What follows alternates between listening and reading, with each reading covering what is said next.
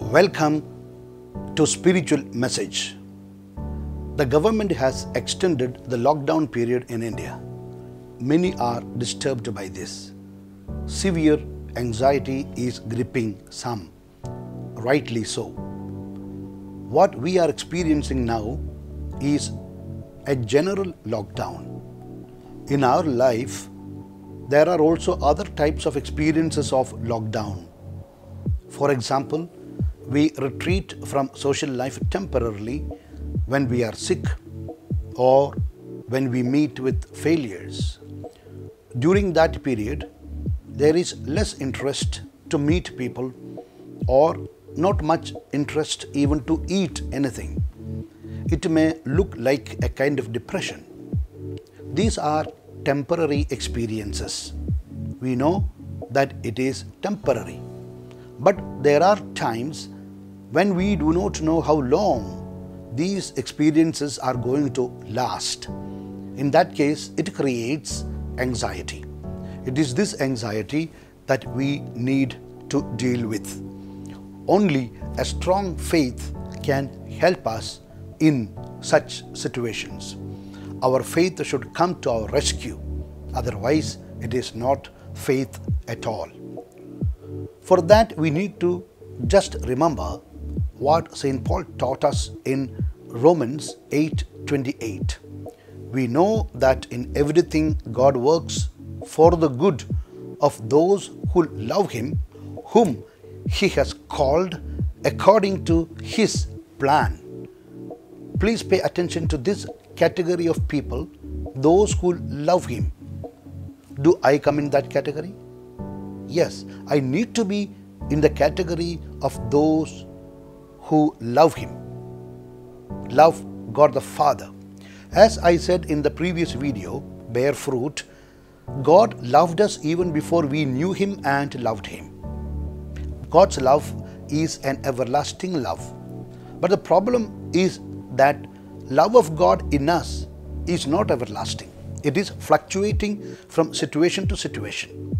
For example, there is a certain amount of love of God in us when we receive Holy Communion, or when we are in prayer, or helping the poor, or appreciating good in others, or making some sacrifices, or reading the scriptures very devotionally and attentively, etc.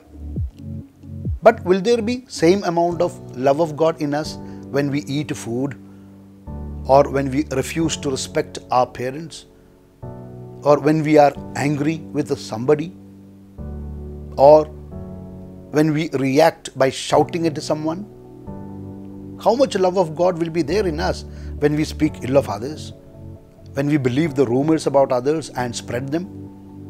When we falsely accuse others? When we take revenge on others? When we take pleasure in the sufferings of others? Etc.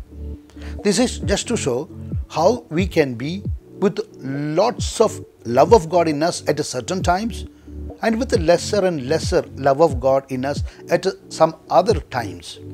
This is what we need to examine. It seems once a mother in law and a daughter in law were fighting with each other at home. At a particular moment, one of them realized that it was time for Mass. So she said, Let us go for the Mass now. The rest we will continue when we come back. Some, after the Mass, walk back talking ill of others. It looks very interesting, isn't it? But it is the reality. We find some taking an interval from doing evil and do some good works. But thereafter, when they come back and continue the evil work they were doing earlier, even with renewed vigor and enthusiasm. It goes to show that man is capable of doing good and bad at the same time. It might be argued that the so called evil is done thinking that it is something good, but we know that it is not the case always. Let us accept that man is capable of doing evil knowing that it is evil. That is what is called a sin, deliberate violation of God's commandment. Otherwise, we may have to say that there is no sin at all. man does good knowingly and man does bad too knowingly. When we are doing good, there is more love of God in us, and when we do evil, there is less love of God in us. It is in this context I say that we need to assess ourselves and see whether there is love of God in us or not, and if there is, to what extent or how much. It is about those in whom there is love of God. The Word of God says, For those who love God, everything will work for the good. It is this type of people who are called according to His plan. All of us are called by God according to His plan. So there must be love of God in us. Then everything will work for the good for us. One more condition is to be fulfilled if this promise has to come to be true for those called by God according to His plan. Music is complete only when it is heard. Giving is complete only when it is received. Similarly, calling according to His plan is complete only when there is cooperation from those who are called. Therefore, what is required here is cooperation of man to the plan of God.